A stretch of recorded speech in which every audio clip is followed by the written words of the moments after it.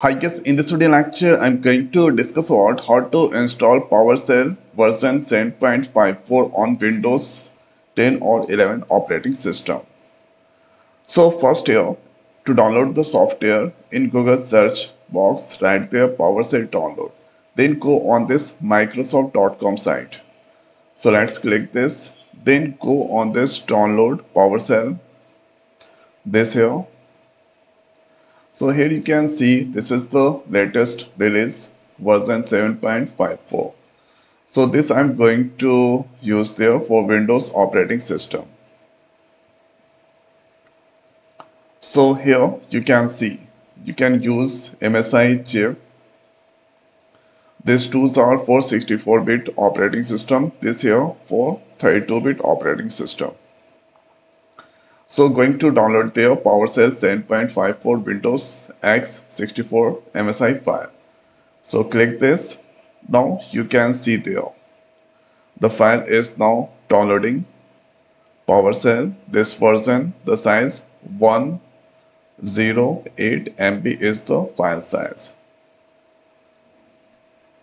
So here you can see this here zip file. You can use this Dev or for Debian operating system, Debian Linux operating system. And here or this you can use inside the 32-bit operating system, these tools.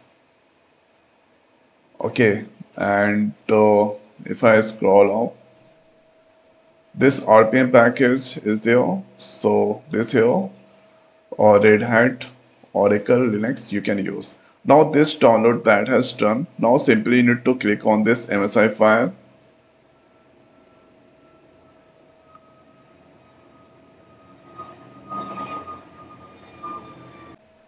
Now thereafter installation wizard that's come there click on next. This is the installation location. Let's click on this next. This all looking fine. Let's click on this next here this is recommended recommended. So that this two should be selected. Now let's click on this next and now finally click on this install. Come from Microsoft Corporation click on this yes button. And this here installing PowerShell 7 on this Windows machine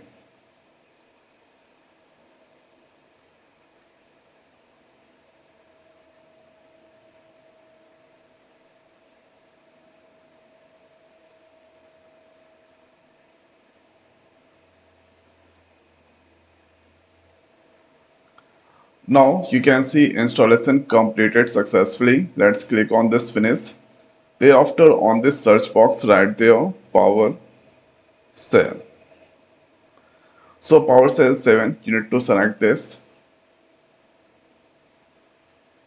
So here this is the version and if I write there write minus host insert this so double quote. So double quote we need to write there hello world.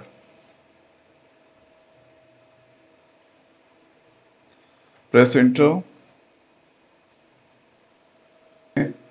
here let's give uh, this into the bracket.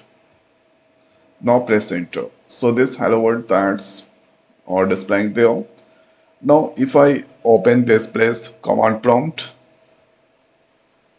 and here to check the version let's write there pwsh minus minus version. So from here you can get this PowerShell 7.54 that install.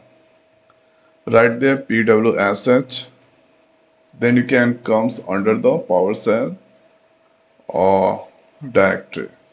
Okay, PowerShell console you can come there. After that you can write any kind of command there.